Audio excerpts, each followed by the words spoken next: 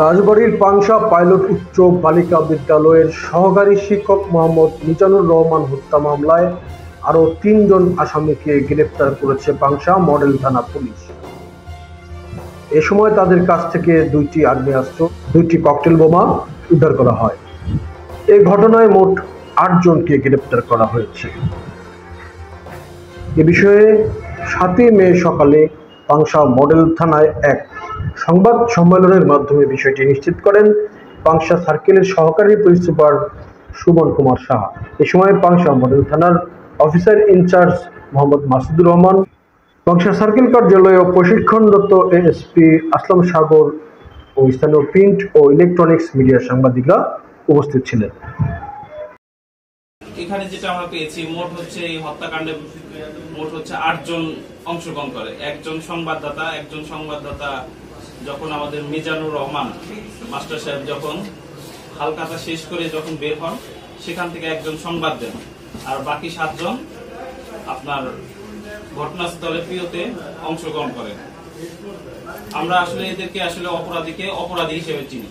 কোনো বাহিনী বা কোনো ধরনের আমরা এটা উল্লেখ করতে চাই না।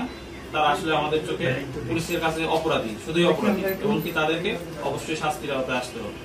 আসামি এই আরও আছে না এই এই শেষ? এই হত্যাকাণ্ডে কতজন আসামি জড়িত বা কতজন এই হত্যাকাণ্ড ঘটাইছে এটা কি শুধুমাত্র কি হালকা টাকা ছিনতাইয়ের জন্য ঘটানো হয়েছে না অন্য কোনো কারণ আছে? এটা কিন্তু আপনারা কিন্তু আমাদের মাননীয় পুলিশ সুপার স্যার বলেছেন যে তখন কিন্তু বলেছেন যে পাঁচজন গ্রেপ্তার এবং কি এই গ্রেপ্তার প্রক্রিয়া অব্যাহত থাকবে। এরই একটি অংশ হিসেবে আমরা আরও তিনজনকে জড়িত যারা তাদেরকে গ্রেপ্তার করি এবং কি দুটি বোমা এবং দুটি পিস্তল উদ্ধার করি। স্যার এই হত্যাকাণ্ডে সর্বমোট কতজন গ্রেপ্তার হয়েছে? মোট হচ্ছে আটজন গ্রেপ্তার হয়েছে। তিনজন বিগত যারা ছিল আপনারা জানেন তারা সকলেই আদালতে স্বীকার করেছে। আরও কি রেজাল্ট আছে?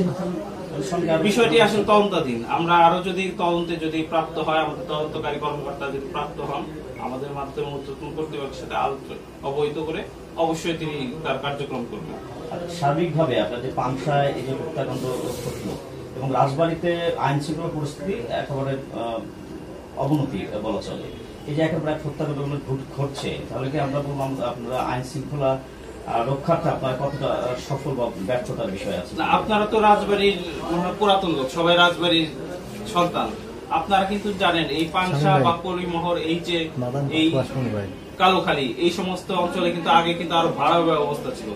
সন্ধ্যার সময় মানুষ একটা সময় ছিল হাঁটতে পারত না।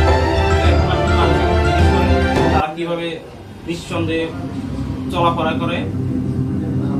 অবশ্যই আগের যে কোনো পরিস্থিতিতে রাজবাড়ী জেলার আইন শৃঙ্খলা পরিস্থিতি অবশ্যই ভালো আছে। স্যার এই মিজানুর যে কোনো একটা ঘটনা যদি ঘটে আপনারা দেখবেন পুলিশ আমরা অ্যাড্রেস করি কিনা। আমরা স্বল্পতম সময়ে আমরা কিন্তু দ্রুত সময়ে আমরা সকলে চলে যাই।